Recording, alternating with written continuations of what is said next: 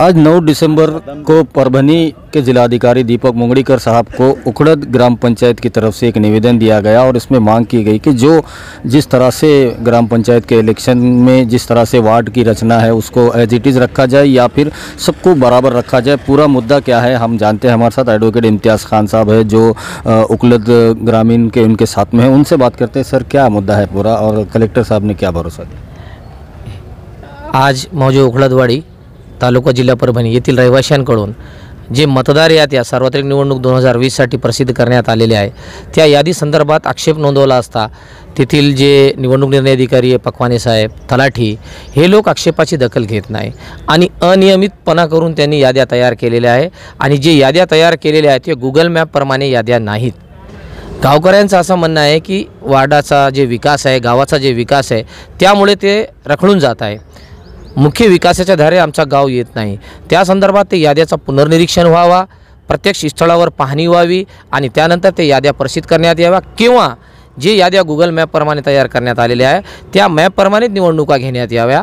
असा निवेदन आम आम्ही आज रोजी जिल्हाधिकाऱ्यांकडे दिलेलं आहे आणि त्याच इथेच न थांबता आम्ही निवडणूक आयुक्त यांच्याकडे सुद्धा ईमेलद्वारे हे पाठवलेलं आहे. तहसीलदार साहेबांना निवडणूक निर्णय अधिकाऱ्यांना आम्ही विनंती करून सुद्धा ते कोणत्याही प्रकारचं ऐकत नाही. जर या प्रकरणामध्ये लवकरात लवकर निर्णय झाला नाही तर गावात कायदा व सुव्यवस्था सुव्यवस्थेचा प्रश्न निर्माण होण्याची शक्यता टाळता येत नाही. आणि जे प्रश्न कायदा आणि सुव्यवस्थेचा निर्माण होईल त्याला जबाबदार तेथील मंडळाधिकारी मंडळ अधिकारी पकवाने साहेब आणि जे कन्सर्न तलाठी आहे या लोकांनी एका पक्षाशी हातमिळवणी करून पक्षपातीपणा करून निष्पक्षपणे जे निवडणुका घ्यायचे त्याच्यामध्ये संदेह निर्माण करण्याचा प्रयत्न केला आहे आम्ही आज रोजी लोकशाही मार्गाने लढा देत आहोत. जर आम्ही आम्हाला या लोकशाही मार्गाने लढा देऊन न्याय नाही मिळाला तर आम्ही न्यायिक क्षेत्रात जाऊन कोर्टात याच्याविरुद्ध केस टाकूत आणि सगळ्या निवडणूकची प्रक्रिया थांबवून टाकूत.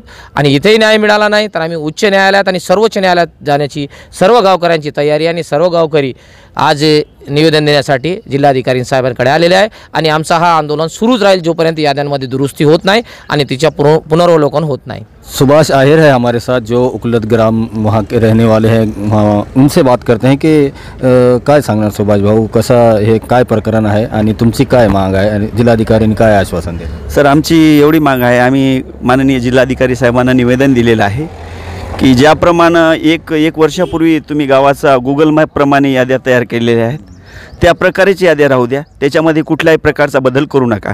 पण या जे वरिष्ठ लोकांचं म्हणणं आहे मंडळ अधिकारी असो यांचं जे म्हणणं आहे की बाबा वार्ड क्रमांक एकचं दीडशे मतदान दोनमध्ये घालू दोनचं तीनमध्ये घालू तीनचं चारमध्ये घालू आता कसं चालेल?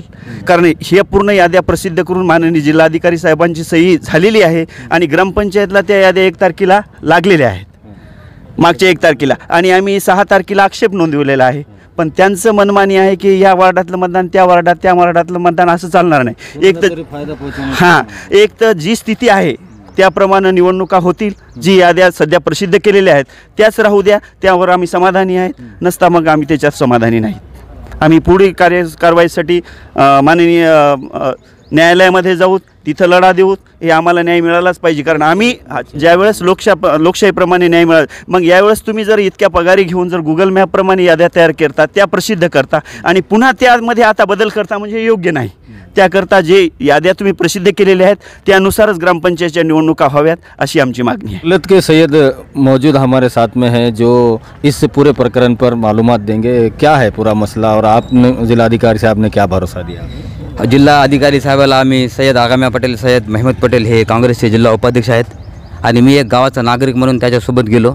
आणि आम्ही त्यांना निवेदन दिलं की हे ग्रामपंचायत मौजे उखडा तालुका जिल्हा परभणी जे इथे लागलेली आहे समजा इथं तर त्याच्यामध्ये जे घोळ दिसायले घोळ. कसं? ते घोळ आमच्या काही समजण्यात येण्यात हमारे वो कुछ घपला समझ में आ रहा नहीं. तो अधिकारियों से हमने बात करे. उसमें पकवाने साहब है तलाटी साहब है और भी कोई अधिकारी है तो उनके बातें भी हमारे जो है तो यादी के ज़रिए से समझ में नहीं आ रही। और उनका जो चक्कर है अंदर, जो बीरिस का जो चक्कर है तो ऐसा साबित हो रहा उस चक्कर की वजह से, और उस चक्कर की वजह से कि एक पार्टी कोई तो बीच में निकल जाती, बाकी सब गिर जाते। और अगर मतदान करने के बाद में भी, मतदान करने के बाद में भी हमारे को ऐसा लग रहा कि हमारा मतदान वाया जाने वाला है। तो ये बात हमारे जब समझ में आई तो हमने उस बात को जो है तो ब्रेक लगाने की कोशिश करे। तो हमारे उन्हें जो है तो बात को मान रहे नहीं तो हमने जो हमारे कानूनन कार्रवाई करने की थी, वो कानूनन कार्रवाई करे। फैक्स जो है तो कमिश्नर साहब को दिए, तहसीलदार साहब को दिए, कलेक्टर साहब को दिए। जो भी हमारी कानून कार्रवाई है, हमारे जो सहयोगी है, हमने सबने मिल करे। उसमें सुभाष आयर है, भास्कर हिंडगे है, उन्होंने भी उनकी बात को जो है तो उनके पक्ष प्रमुख, पैनल प्रमुख की जो समझ में आया, उसके ज़रिए से उन्होंने भी रखे। तो मेरा बोलने का मतलब ये है कि चार पक्ष प्रमुख है, चार पैनल है, जो भी उम्मीदवार खड़े रहेंगे, वो सीधी सीधी कुश्ती होना अंदर। उसके अंदर कुछ सियासत नहीं रहना तो हमारे को ऐसा लग रहा कि ऊपर के लेवल का कुछ तो भी इसमें हाथ है। और इसके ऊपर जो है तो मतदानों के ऊपर और खड़े वाले मेंबरों के ऊपर और पक्ष प्रमुखों के ऊपर पैनल प्रमुखों के ऊपर अत्याचार और अन्याय होने की इसमें शक्यता है। तो ये बात हमको किसी भी हाल में मान्य नहीं है। तो हाँ ये है? हमारी मांग ये है कि अगर ये काम सीधा सीधा अगर होगा तो हमें भी सीधा सीधा काम करेंगे। हाँ जैसे यादें बने वाले हैं। वही रखना। यादें बने वाले हैं तो चार प्रमुख पक्ष प्रमुख पैनल प्रमुख मिलके बैठेंगे। उसको देखेंगे, अगर सबको मान्य है तो हम उस मान्यता के ऊपर इलेक्शन लड़ने के लिए तैयार है। अगर समझो ये इसके अंदर कुछ भी, अगर एक ने भी इनकार करा तो ये यादें जो है तो कर्मचारी को, तलाटी को, मंडल अधिकारी को, जो भी शासन है, इनको सुव्यवस्थितपणे तैयार करना पड़ेंगे और तैयार करने के बाद में इलेक्शन लेना पड़ेगा। अगर ये इलेक्शन लेने की गड़बड़ होंगी तो इसमें कुछ भी घात पात गौ में हो सकता। इसकी प्रशासन ने दखल लेना हमारी इतनी गुजारिश है और शासन भी कभी गलत काम नहीं करता। और शासन से हमारी ये उम्मीद है कि हमने जो जो काम जिसके जिसके कान पे डाले है वो जो है तो वहाँ तक पहुँचने के बाद में उन्होंने जो है तो उस काम को अंजाम देंगे। और इतनी मेरी बात बोलने का ये है आखिरी बात बोल के अपनी मैं बात ख़त्म कर दूँ कि अन्याय कौनतेज पार्टी के ऊपर नहीं होना। जिसके अंदर दम है जिसके अंदर अखलाक है जिसके अंदर सलाहियता है हाँ और जो पब्लिक जिसको निवड़ करेंगी उन्हें चुन के आएगा। इसमें सियासत खेलने का और दबाव डालने का और राजनीति करने का मसला नहीं है। क्यों तो ये गाँव की ग्राम पंचायत है ये कुछ दिल्ली का राजकारण नहीं है। कैसा? इतना दिमाग लड़ाने को इसमें। ये लोग भोले वाले इनके क्या समझ में आएगा वो अधिकारी के तलाटियाँ के बातें? हाँ? तो हर एक को तो ये बात बोल नहीं सकते यहाँ क्या हुआ तो? वो सारे बात हमने रख दिए। भास्कर हिंडगे है हमारे साथ। उखलत के रहने वाले हैं उनसे बात करते हैं। पूरा मुद्दा क्या है? भास्कर भाऊ काय मुद्दा काय आहे आणि जिल्हाधिकारी यांनी ते काय सांगितलं उखळत ग्रामपंचायत दोन हज़ार वीस आणि एकवीस या याद्यामध्ये जो ज्या अडचणी आलेल्या आहेत शासनाच्या कलेक्टर साहेबाच्या सहीनीसी दिनांक एक बारा दोन हजार रोजी तुमच्या ग्रामपंचायतमध्ये निवडणूक प्रभाग मतदान निहाय याद्या प्रसिद्ध झाल्या होत्या. आणि सात तारीख ही आक्षेपाची होती. आम्ही सात तार सहा तारखेला आक्षेपही दिला होता पण सात तारखेमध्ये ज्या दिवशी आम्हाला सुनावणीला बोलवलं त्या दिवशी या याद्यावर आम्हाला कोणत्याही प्रकारचं समाधान अधि अधिकाऱ्याकडून झालेलं नाही आहे संबंधित मंडळ अधिकारी आणि तलाठी साहेब यांना आम्ही आमची मतं व्यक्त केली. यादीवर आक्षेप घेतलेलं आमचं पुरावाही सादर केला. पण त्यांच्याकडून कोणत्याही प्रकारची आम्हाला उत्तरं मिळाली नाहीत. त्यामुळं आज आम्ही माननीय कलेक्टर साहेब माननीय तहसीलदार साहेब यांना आज आम्ही आमच्या तक्रारीचा किंवा आक्षेपाचा परत एकदा अर्ज दिलेला आहे. त्यानुसार आमचं एकच म्हणणं आहे की ज्या याद्या शासनानं कलेक्टर साहेब माननीय कलेक्टर साहेबाच्या सहीनिशी प्रसिद्ध झाल्या होत्या त्या याद्या गुगल मॅपप्रमाणे प्रसिद्धी झाल्या होत्या. त्याच याद्या कायम ठेवाव्या. न अन्यथा ग्राउंड लेवलवर येऊन डोर टू डोर जाऊन नवीन याद्या तयार करण्यात याव्या. या दोन आमच्या प्रमुख मागण्या माननीय कलेक्टर साहेबाला आम्ही सांगितलेल्या आहेत. तर कलेक्टर साहेबाला तुमच्या माध्यमातून मी सांगतो की ज्या याद्या आहेत त्या कायम ठेवा किंवा प्रभाग क्रमांकानुसार डोर टू डोर येऊन गावात याद्या तयार कराव्या तरच आपण इलेक्शन घ्यावं. अन्यथा गावामध्ये वातावरण दूषित होत आहे. गावात जर एखादा घातपात झाला असेल होईल भविष्यात त्याची पूर्ण जबाबदारी आम्ही माननीय कलेक्टर साहेब आणि मा प्रशासन जिल्हा प्रशासनावर टाकण्यात येत आहे. सय्यद सरदार उखलत का सामाजिक कार्यकर्ता हूँ। और मेरे को ऐसा लग रहा कि ये जो तलहटी साहब है, हमारे अनवर भाई, ये पाँच साल से उखलत के अंदर उन्होंने जो उनके साथ सहकार करने वाले हैं, उनके एक चार दो, इनका सुन के, और अब भी जो मतदान के बारे में उन्होंने जो यादा में घोल करे तो उनको खुद क्या उकलत का सरपंच बनना चाहते, क्या सरपंच बनने की कोशिश कर रहे, क्या उखलत के अंदर उनको खुद खड़ने का है? ये हमारे समझ में नहीं आ रहा। किसी को तो हाँ उन्होंने इसका फ़ायदा उनके नगीस के लोगों को देना चाहते। आपका विरोध है इसको पूरा यहाँ पूरा पूरा विरोध है सर हमारा इसके ऊपर। और इन्होंने ये डोर टू डोर जाके याद यादें सीधे नहीं करे सब अभी हम कलेक्टर साहब के पास जाके आए। तो इनके लिए गाँव के अंदर बहुत बड़ा नुकसान होने वाला है।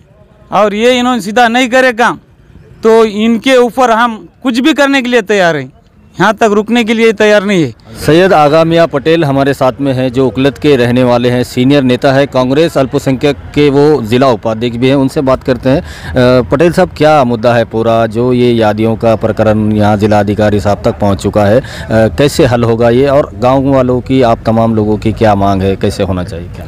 हमारी मांग साहब ये है कि इलेक्शन निपक्षपातीपने होना चाहिए। ये फ़िलहाल लोकशाही है हुक्मशाही नहीं है। और हमारे गाँव में जो तलाटी है, ये तलाटी जो है, हमारे जो कर्मचारी हैं, ये इन्हों पूरी हुक्मशाही के हिसाब से काम कर रहे हैं। इन्हों एक पार्टी के दबाव में आके, उस पार्टी का सुन रहे ना गाँव का हित देख रहे नहीं पब्लिक का हित देख रहे नहीं, सिर्फ़ कुछ लोगों के दबाव में आके उन्हों, उनको कैसी ग्राम पंचायत सोफी जाएँगी और उनकी ग्राम पंचायत कैसी आएँगी? अब वो तलाटी की कौन सी ग्राम पंचायत है, वो हम नहीं जानते, लेकिन उसका कौन सी तो भी पार्टी है, उसको मिली हुई और वो तलाटी की पूरी कोशिश है वो पार्टी लाने की। वो पार्टी के हिसाब से तलाटी ने हमको कोई बात कानों कान खबर नहीं लगन दे रहा। सब तो कलेक्टर साहब तक चले। हाँ वो उन्हें सब उसके हिसाब से काम कर रहा। और यादा में उन्हें ऐसा करा कि पहले वार्ड में औरत है दूसरे वार्ड में मर्द है शोहर तीसरे वार्ड में माँ है तो चौथे वार्ड में बाप है तो पाँचों। बोले एक फैमिली इतना डिवाइड करके रख दिया उन्होंने ऐसा कर दिया करने के बाद ये भी करा तो कोई हर्ज नहीं। हम बोले भाई कि ये हमारे जो यादें तुमने जो बनाए अब ये जो यादें तुमने बनाई ये यादें आप तुम एज इट इज़ जैसे को वैसे रखो। इलेक्शन इलेक्शन ले। लो और तुमने चाहिए यादें फाइनल करे। अब उन्हों वो छोड़ दिया उन्होंने बोल रहे कि नहीं पहले वार्ड में के दूसरे वार्ड में दूसरे वार्ड में के तीसरे वार्ड में तीसरे वार्ड में के चौथे वार्ड में जहाँ कि उनको इसका कोई अधिकार नहीं है। तो हो, होगा। वो एक तो उन्होंने वो वो नहीं कर रहे एक तो यादें बरोबर नहीं करे। तो हमारी मांग ये है एक तो यादें उन्होंने जो प्रसिद्ध करे वो फाइनल करना एक मुद्दा। नहीं तो डोर टू डोर आके गाँव में यदि फिर से बनाना एक फैमिली के लोग एक कुटुंब में रहना एक जगह रहना। ये हिसाब से उन्होंने काम करना और पूरी पारदर्श पारदर्शकता के हिसाब से इलेक्शन लेना चाहिए प्रशासन ने। ये हमारी मांगनी है। अगरचे यू नो अगरचे ये काम नहीं करे तो तो हमारे गाँव में हाथ पात होने की शक्यता है। इसके जिम्मेदार हाँ? इसके जिम्मेदार ये सब प्रशासन है। प्रशासन को कुछ हम कितना भी बोले तो वो सुनने को तैयार नहीं है। उन उनका लगा रहे हैं गलती उनोज कर रहे हैं और उनोज बोल रहे तुम सुधारते बैठो। तो हमको भाई ये पाँच छः दिन से आठ दिन से बेदार कर रहे हैं।